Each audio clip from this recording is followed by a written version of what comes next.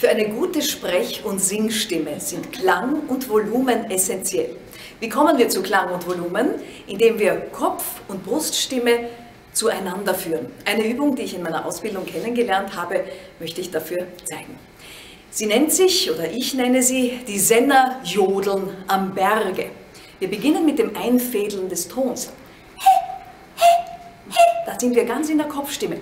Wir setzen fort mit dem Ziehen von Pfeilen wie aus einem Köcher.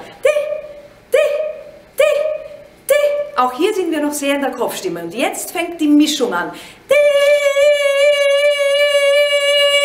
Wie mit einem Scheibenwischer. Und schließlich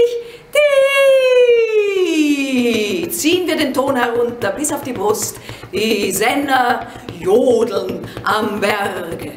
Die Senner jodeln am Berge. Wir haben mehr Volumen und mehr Klang in der Stimme.